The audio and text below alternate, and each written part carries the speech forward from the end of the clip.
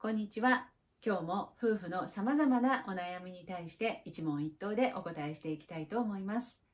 今日は A さんの体験を少しご紹介していこうかなと思います。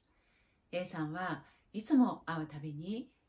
うちの主人って自分さえ良ければそれでいいのよね。家族のことなんて何にも考えてないんだから、呆れてしまうっていうことをね、いつもいつも言っていたんですよね。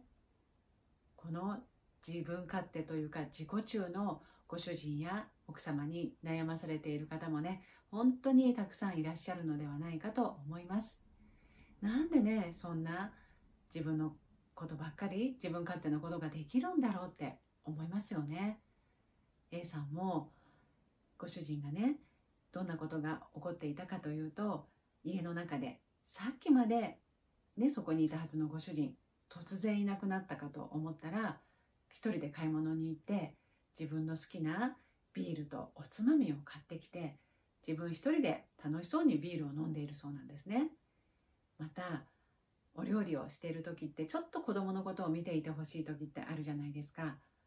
そういう時もね最初のねご主人にお願いをすると最初の何分かは子供をねあやしてくれているそうなんですが自分の好きなテレビが始まってしまえば子供が泣いていても知らん顔。もうテレビに夢中になっているそうなんです。そしてまたね今度の日曜日はねお天気がいいから公園に行こうって約束をしていても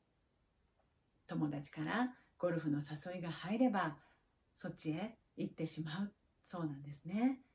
なんで公園に行こうって約束していたのにそんな友達と出かけてしまうのって言っても俺にだって立場があるんだとかねいろんな言い訳をして結局は自分のねことを優先してしまうそうなんですね。もうほとほとねもう嫌気がさしてきてこの先ねこの夫と生活していけるだろうかって悩んでいたんですね。そんな A さんなんですが新次元思考テクノロジーミロスに出会いまして今では全くね夫婦関係変わってしまってお互いにねいろんなことを協力し合えるそんな夫婦に変わってしまっているんです。それはなぜかというと A さんは男と女この夫婦が向き合うとどういうふうになってしまうのかというねそのメカニズムを知っていったんですねじゃあそのメカニズムどうなっているのかというと夫婦男と女が向き合うと必ずどちらかがプラスでどちらかがマイナスになってしまうというのが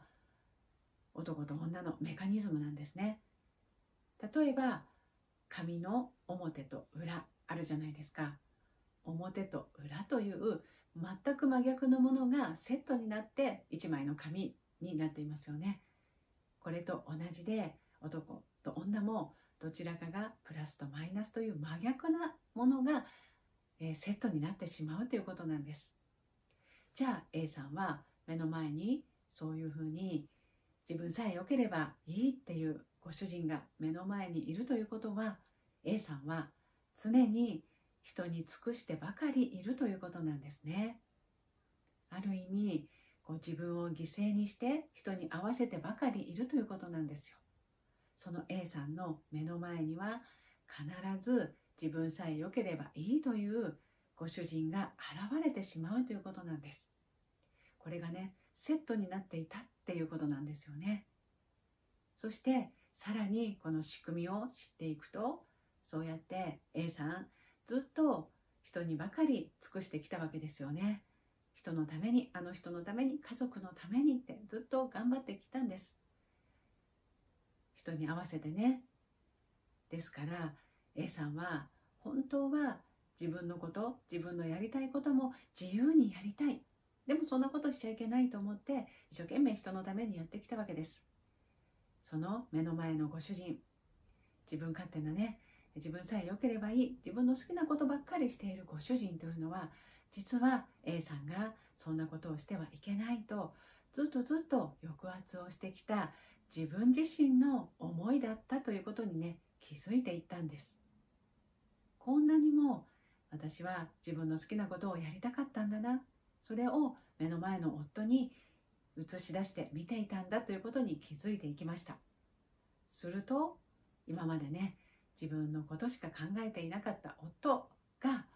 どんどん家族のことをね考えて A さんのことを考えて行動をしてくれるようになっていったんですよね。こうして新次元思考テクノロジーミロスの視点から夫を通して自分を知っていくことで夫婦関係どんどん変わっていくんですよね。そして最も目の前の嫌な夫そして嫌な妻というのは自分の隠した思いというものを目の前で見せてくれているということなんです。このことをね知っていくことで本当に夫婦ってどんどん変わっていきます。今もし目の前にね自分のことしか考えていない自分さえ良ければそれでいいそういうふうに見えるご主人や妻がいたとしたらそこからね自分自身をぜひ知っていっていただきたいと思います。そうすることで本当にね夫婦関係全く変わっていきますのでぜひ一緒にね体験していきたいなと思います。それではね、えー、またこれからも様々な夫婦の問題に対して一問一答でお答えしていきたいと思います。また Facebook とか公式 LINE でも様々な体験の、えー、実体験であったりそういったミロスのエッセンスをお伝えしていますのでね是非お友達になっていただければ嬉しいです。概要欄の方に載せておきますので是非チェックしてみてください。それでは今日もありがとうございました。